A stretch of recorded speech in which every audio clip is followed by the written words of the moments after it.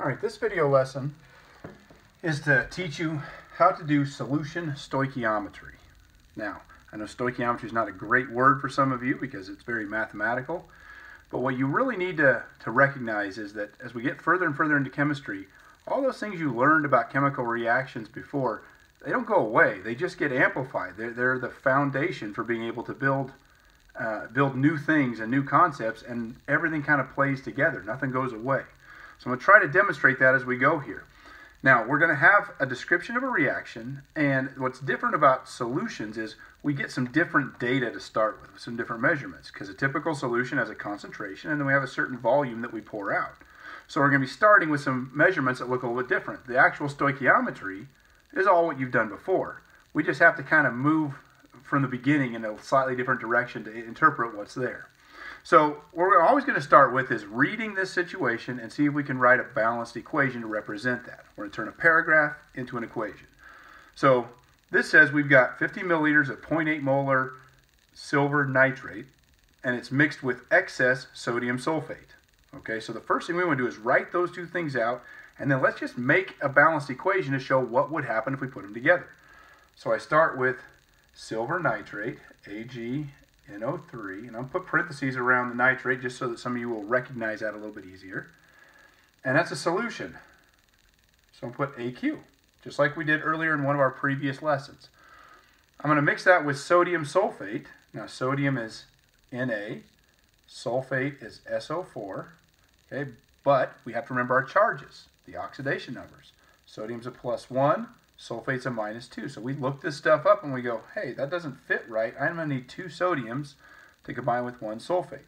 So it's really important that you do that. You can't just forget about that part. That's really crucial because everything else depends on these numbers.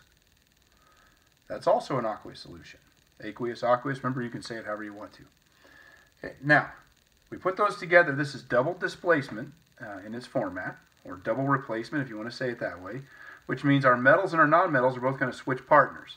Okay, so silver is going to come over here and form with the sulfate. Sodium is going to go combine with the nitrate. But when they do that, they form in sometimes different ratios depending on their charges. Okay, they make new compounds. So silver is going to go with sulfate. I've got AgSO4, but now I got to look up those charges. Sulfate's a negative 2, silver's a plus 1. So I'm going to need two silvers. I also have sodium with nitrate sodium, nitrate. Sodium's a plus 1, nitrate's a minus 1. Those fit together nicely, so I only need one of each.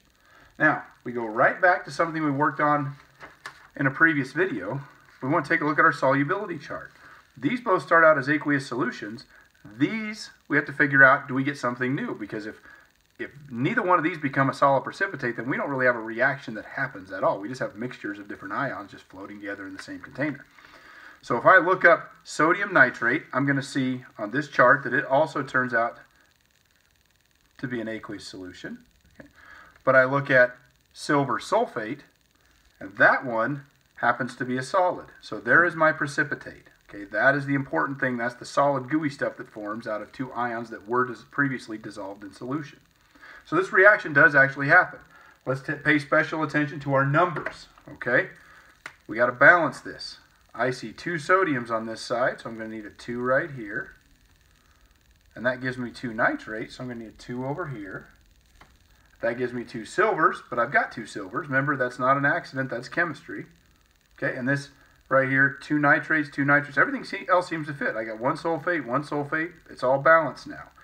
I'm going to put in these ratios just so we remember what they are. So it's a 2 to 1 and a 1 to 2 ratio. Now, we got this whole bunch of chemistry out here. Let's not lose sight of the big picture. What are we actually doing? So when I reread this, I notice that I have a certain amount of silver nitrate to start with. That's this one right here. Okay, So I'm starting with that particular amount. Okay, I've got 50 milliliters, and I've got a concentration of 0.8 molar. Now it says it's mixed with excess sodium sulfate. So it's telling us what it's mixed with, but that word excess basically means that there's more than enough of this, but there's probably too much.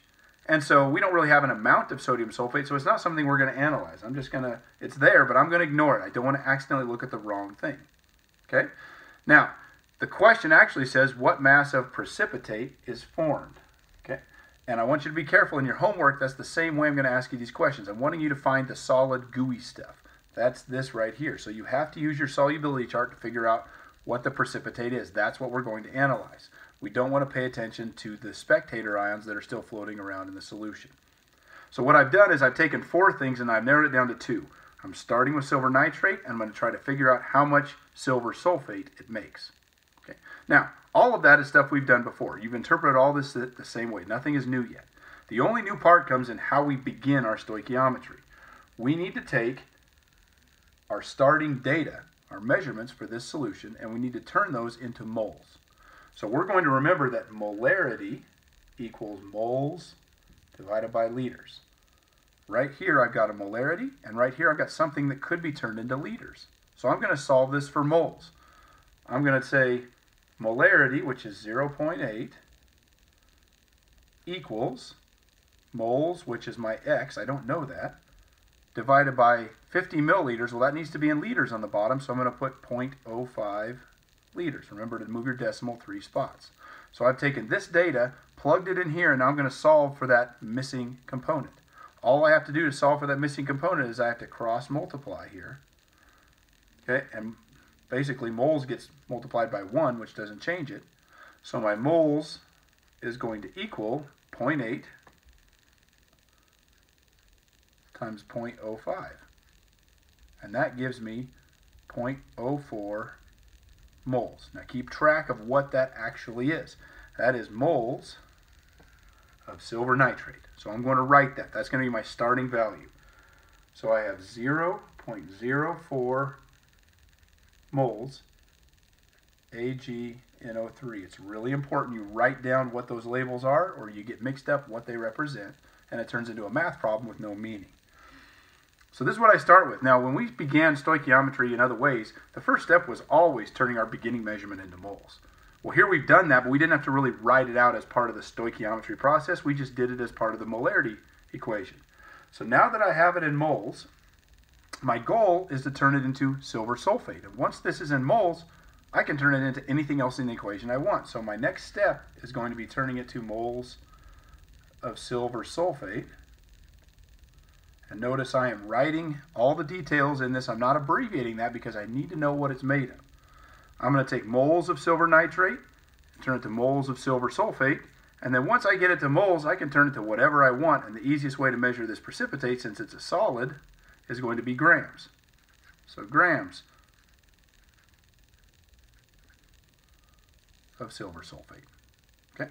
So in our typical stoichiometry we did before, we always went grams to moles to moles to grams. Well, in this case, we don't need to have the first step. We've already got it into moles. We already did that right here, so there's no need to do it again. We're going to start with moles, and then we immediately jump to the new stuff. So right here is where the precipitate comes in. So I'm going to write PPT. PPT. So notice that the first measurement represents our beginning solution. But the next two things are all dealing with the precipitate. We all we make a change and we're looking at that stuff now.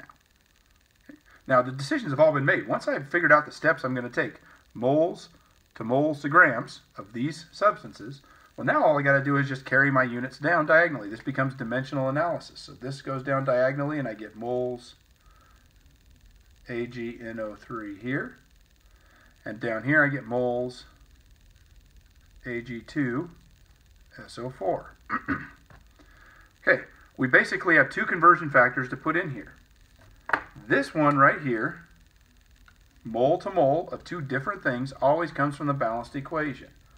Look at the blue writing. It's 1 to 2 mole ratio. 1 goes with silver sulfate, 2 goes with silver nitrate. This is why it's important you have the labels correct so you know which number goes on top and which one goes on bottom. It's the same ones that match up here.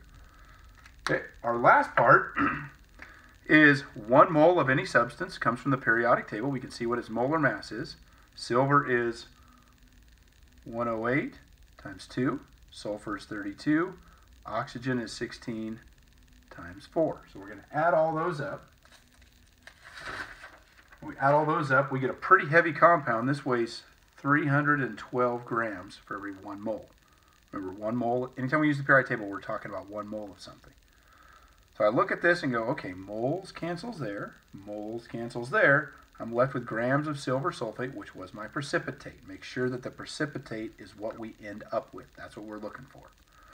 If you make a mistake somewhere, that's usually the case. You start looking at the wrong thing and you don't actually have the precipitate that you're analyzing. So I'm going to multiply the numbers on top, divide by the numbers on the bottom. I'm going to ignore the ones. We've done this before. And I end up with 6.24 grams silver sulfate. That is my precipitate. That's how much solid gooey stuff would form out of this reaction. Okay. Now, I know there's a lot there, but everything here you've done before. We're just putting together skill sets from earlier topics, and they all kind of collide into one application. So the important things you got to make sure you do, write a balanced equation, and don't forget to check out the charges and get the correct formulas. If you mess up on that, it affects everything else. Okay, so we get the correct balanced equation.